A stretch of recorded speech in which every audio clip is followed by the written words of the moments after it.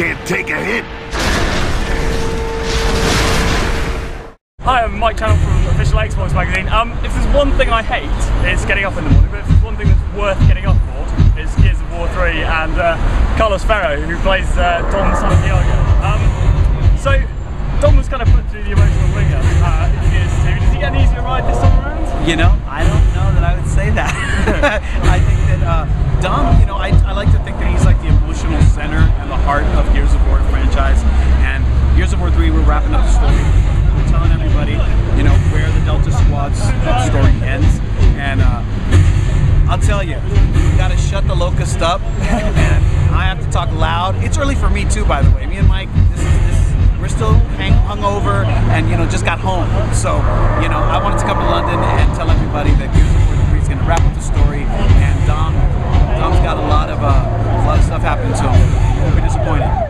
If we don't grow it, we don't eat it, remember? I think the radishes can cope without you for a while. Okay, let's get this over with. Has anyone been messing with your radishes this morning? You know, the radishes are safe for now.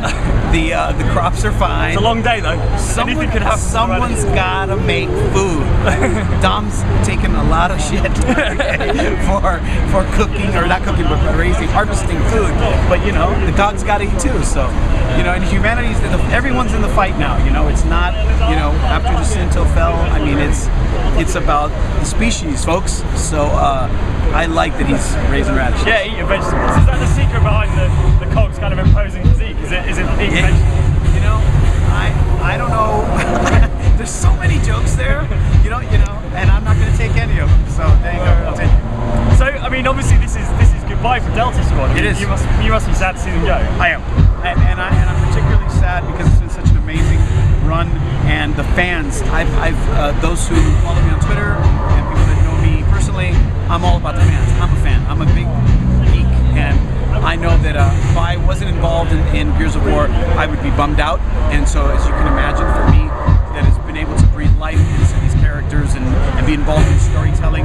I mean, there's a lot of Dominic Santiago in me now, and it used to be the other way around. It used putting my, putting my personality into the character, and now it's, it's, it's kind of bittersweet. You're going to be meeting a lot those fans at midnight tonight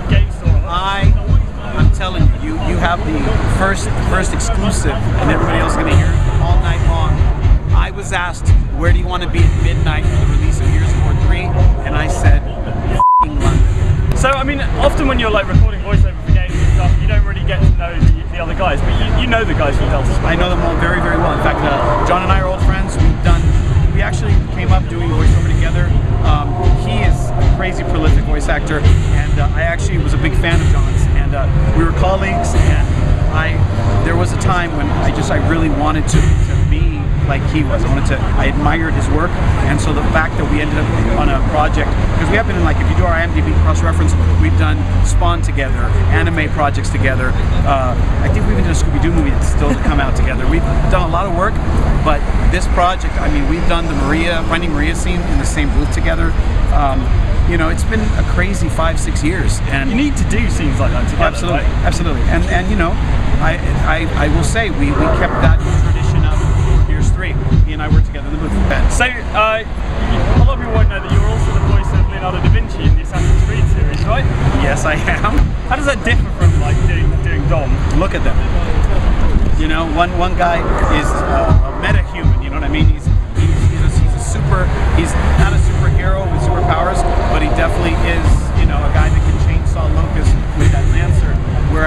Leonardo da Vinci, I tried to play him as a Tony Stark of his time, and uh, uh, but in both cases, they're loyal friends to fault that support the cause and fight and all that.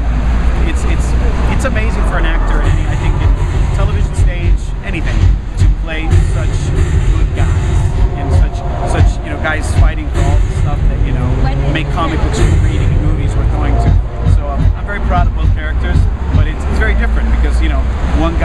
you know is, is you know he had his quest for his life, he has all the, the luggage and baggage of, of his family and from the books and the comics.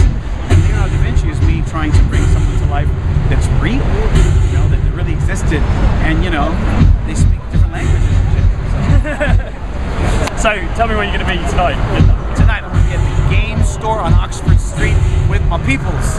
Dom Father in the house. Carlos, thank you. Uh, good, good firm handshake as well. Yeah, Been eating your radishes. So Santiago eating radishes. Yeah.